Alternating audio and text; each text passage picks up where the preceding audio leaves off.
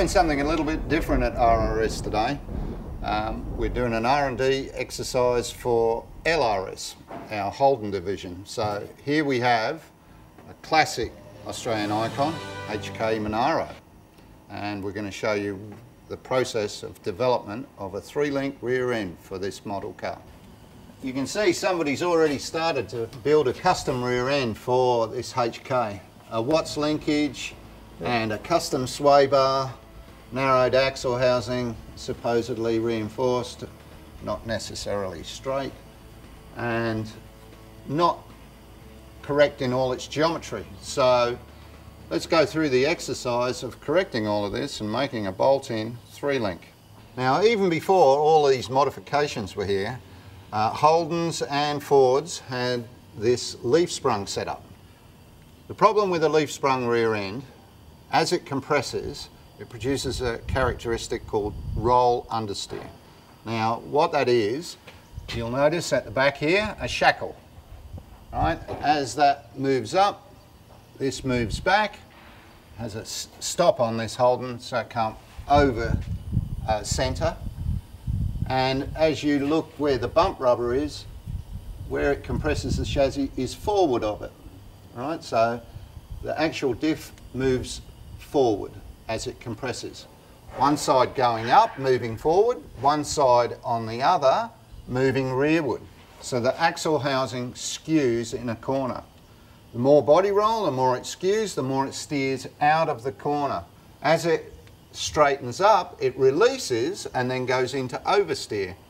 Now there's only one worse type of suspension for doing that, and that's a triangulated rear end.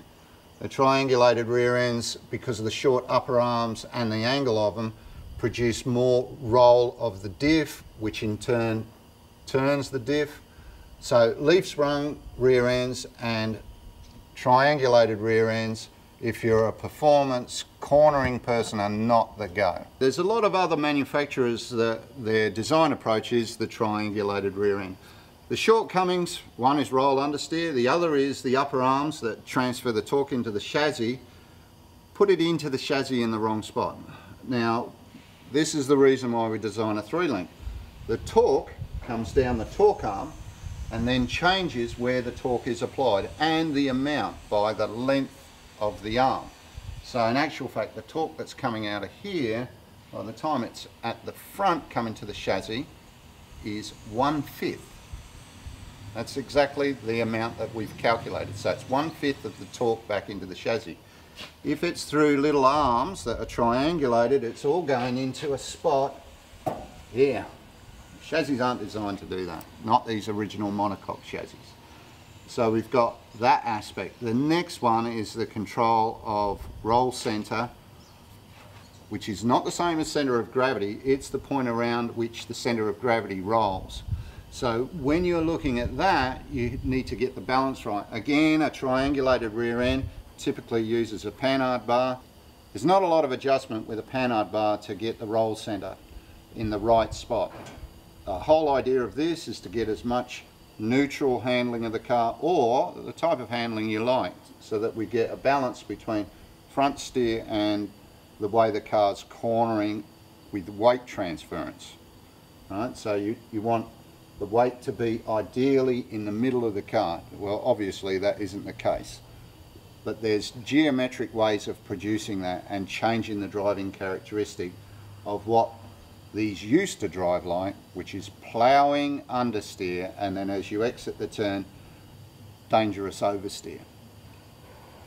This whole setup transfers its forces into the chassis via these points. When you design a, a rear end correctly, what should happen is that the forces are decreased the chassis acts like it's a stiffer one and all of the components that you bolt in, rather than it being a detriment, become an advantage.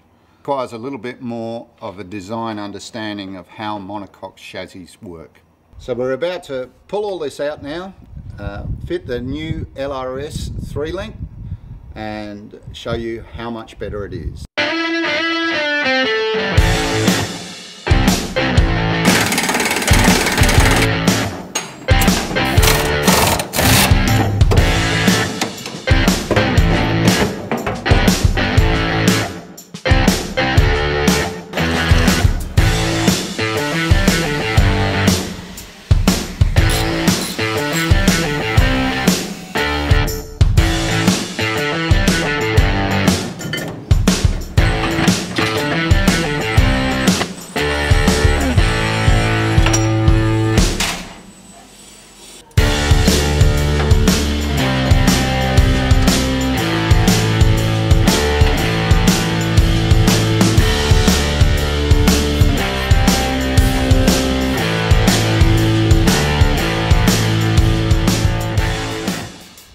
are with the completed HK to HG uh, Holden three link assembly.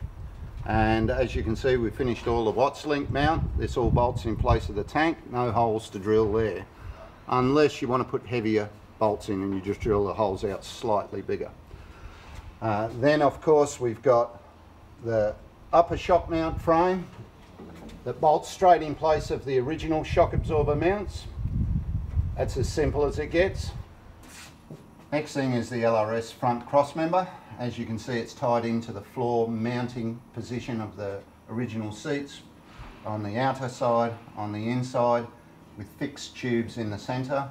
We drill the holes to a bigger 7 16th in the middle and 3 8 on the outer. That way you've got all the rigidity added back into the car and a secure mounting place for the torque arm.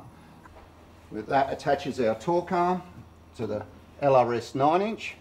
We've got our coilovers with uh, 2 inches up, 2 inches down adjustment on its base adjustment and then of course the coilover. We've got all of the coilover settings, 1 to 4 for street, 4 to 8 for track and sporty type handling and then the next lot for drag racing to balance the torque. We can adjust the roll centre so that we can get a nice neutral handling car. We can adjust the Watts linkage to allow for frame error. We've got fixed arms so that you just bolt them in the original location with no cutting and welding. And of course, there's no adjustment on these arms. There's specific reasons for that. One of the problems with adjustable arms for a street car is the nuts all come loose. Anybody who's got some of these uh, triangulated four-links knows all about that. We don't want anything falling out of the car. It's got fully serviceable joints, bearings in all of the major locations, so everything is serviceable. The shocks are rebuildable. Added to all of this is the major handling benefits. First thing over the leaf springs is it eliminates roll understeer. An original leaf spring, when it compresses, moves the axle housing forward. So if one side is compressed, and the other side is relaxed, the axle housing skews in the car. This turns the car out of the corner. The more you turn it into a corner, the more the rear end is turning out. When you straighten up, it releases and oversteers. So that eliminates all of that. This is one of the problems with some of these uh, triangulated rear ends. They actually have more roll understeer than uh, the standard leaf springs and th this type of uh, suspension configuration has zero roll understeer. Added to that, our torque circuit, instead of coming through the leaf spring, into the chassis, back to the engine mounts, now transfers through the torque arm, into the front cross member, shorter distance to the engine mounts. So this makes all of this back half of the chassis just a push motion rather than a twisting motion. So let's show you what we've done with the tank because now we've got a mystery here of where did the tank go. And here we have the LRS fuel tank conversion. Great options available with this in-tank pump with a built-in swirl pot. and use this with a supercharged injected motor. Um, we've got standard fuel inlet so it can hook up to the original filler neck position. Uh, standard type uh, fuel sender or pickup if you choose. Also, this is a better capacity tank and fully serviceable and rebuildable pump. All of this you can just bolt in simply by drilling and tapping some quarter UNC bolts into the frame. That's it. If you choose otherwise, you could possibly weld it in. The tank is removable and fully available in uh, different finishes, depending on what you want to do. So there we are. Just got one last thing to show you. Introducing Chris. G'day. He's your local LRS consultant. He can take care of all of your technical needs for modifying your GM.